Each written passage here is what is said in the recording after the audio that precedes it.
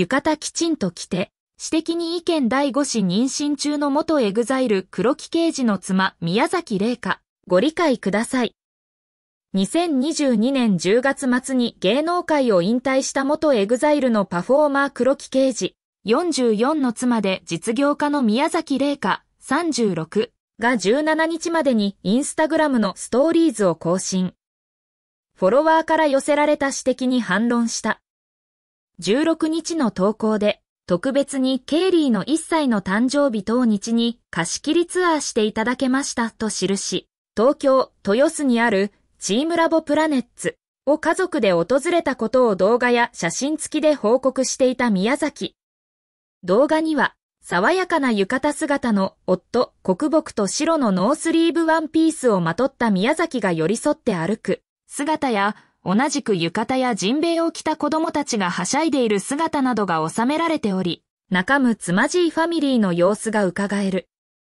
コメント欄は、本当に素敵なファミリー、幸せが伝わってきます。といった好意的な反応が大半でしたが、一部のフォロワーから浴衣きちんと着てほしいです。といった指摘が寄せられました。よく衣に限らず、着物はすべて男女問わず、襟の合わせを右前で着るのが基本とされていますが、動画の中で黒木さんや子供たちの浴衣が左前になっていたんです。また、黒木さんの浴衣も胸元が開いて着崩れていたことから、蒸気のような指摘が上がったのだと思います。女性誌ライター。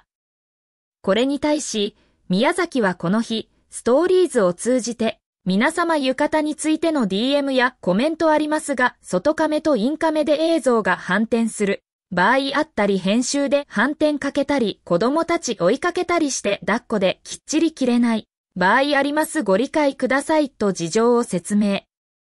続けて、それもノリよく子供たちとお揃いで来てくれた刑事パパに感謝なんです思い出が大事、と風への感謝を述べた。宮崎さんは2度の離婚を経て2021年に久喜さんと3度目の結婚。1人目の夫との間に第1子男児が、2人目の夫との間に第2子男児、第3子女児がおり、そして黒木との間に誕生した第4子のケイリー君と同居している状態です。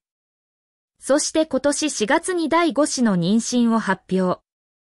最近の統合ではお腹の膨らみも徐々に目立ってきていますが、6月1日の投稿ではスレンダーボディを強調したタイトなミニドレス姿を披露し、妊婦には見えない、なんでこんなに細いんですか？と驚きの声が続出しました。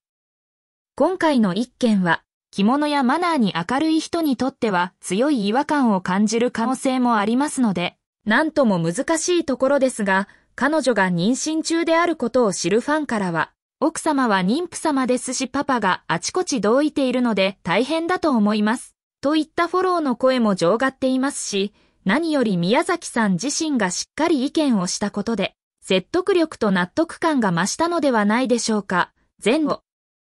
最下な指摘にも即反応するフットワークの軽さが、実業家として成功を収める秘訣なのかもしれない。浴衣きちんと着て、という指摘にご理解ください。とすぐさま反論してみせた第5子妊娠中の黒木刑事の妻、宮崎玲香。やり手の一面がちらりと見えた。